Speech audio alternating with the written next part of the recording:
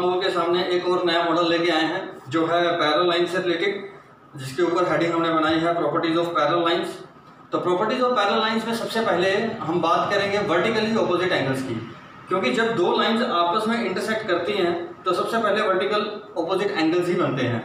अगर हम इस, इन टू लाइंस को देखें तो इसके अंदर वन टू थ्री फोर हमारे पास फोर एंगल्स हैं. इनके अंदर अगर हम बात करें वर्टिकल ऑपोजिट एंगल्स की तो टू और थ्री ये दोनों आपस में वर्टिकल ऑपोजिट हैं। अगर हम इनको आपस में ट्रेस करके देखें तो these two angles are equal इस मॉडल से ये प्रूव होता है कि वर्टिकल ऑपोजिट एंगल्स जो हैं, वो इक्वल होते हैं। वन हमने टू और थ्री को करके देखा। इसी तरह से अगर हम वन और फोर को भी करके देखें तो ये दो एंगल्स भी जो हैं, आपस में ट्रेस करके इक्वल आएँगे। इट मीन्स पैरल लाइन से रिलेटेड हमने पहली प्रॉपर्टी को प्रूव किया। कि वर्टिकली ऑपोजिट एंगल्स जो हैं, वो इक्वल होते हैं। अगर इसी पैटर्न को हम फॉलो करें तो यहाँ पे एंगल फाइव जो है एंगल एट के इक्वल आएगा और एंगल सेवन जो है एंगल सिक्स के इक्वल आएगा। सेकंड में हम बात करते हैं कोरस्पॉन्डिंग एंगल्स की।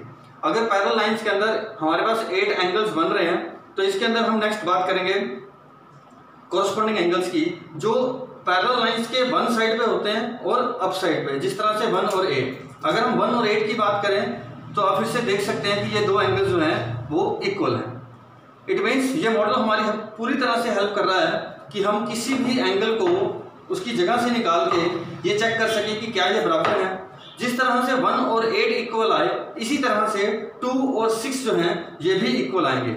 आप देख सकते हैं टू और सिक्स को जब हमने ट्रेस किया तो ये भी बराबर हैं। इसका मतलब जो हमारे कॉरेस्पॉन्डिंग एंगल्स हैं, वो इक्वल होते हैं। वन और एट इक्वल आया, टू और सिक्स इक्वल आएगा। इसी तरह से थ्री जो है, वो सेवन के इक्वल आएगा और फोर जो है, वो फाइव के इक्वल आएगा। उसके बाद हम थर्ड प्रॉपर्टी की बात करें ऑल्टरनेट इंटीरियर एंगल्स इंटीरियर मतलब कि दो पैरल लाइंस के इंटीरियर बीच वाले एंगल्स हमारे पास चार इंटीरियर एंगल्स हैं angle three angle four angle eight और एंगल सिक्स अगर ऑल्टरनेट की बात करें तो ऑपोजिट साइड की बात होगी यहाँ, जैसे एंगल थ्री इक्वल होगा ऑल्टरनेट यानी दूसरी साइड पे एंगल सिक्स के।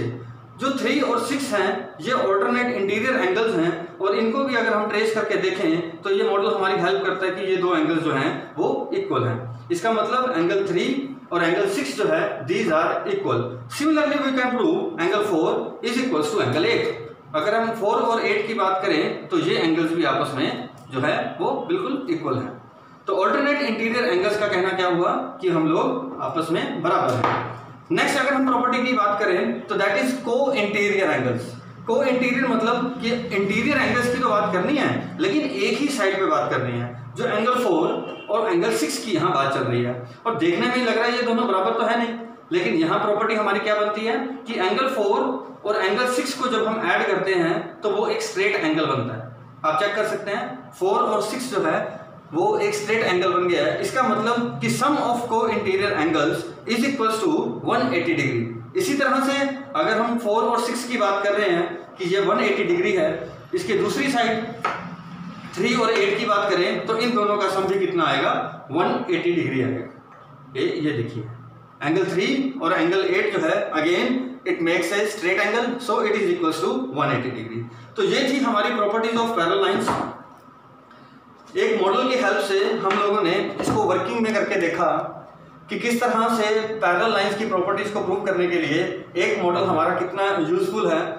जितनी भी प्रॉपर्टीज़ हैं पैरल लाइंस की, एक ही मॉडल के साथ हम प्रूव कर सकते हैं। उम्मीद है मुझे आप लोगों को मेरी ये वीडियो बहुत पसंद आई होगी। अगर आप लोगों को ये पसंद आई है तो आप प्लीज़ इसको लाइक करें शेयर करें एंड सब्सक्राइब करें, ताकि हम आने वाले टाइम में और अच्छी अच्छी वीडियोज़ बना के और अच्छे अच्छे मॉडल्स बना के आप लोगों के सामने लेके आएँ। Thank you very much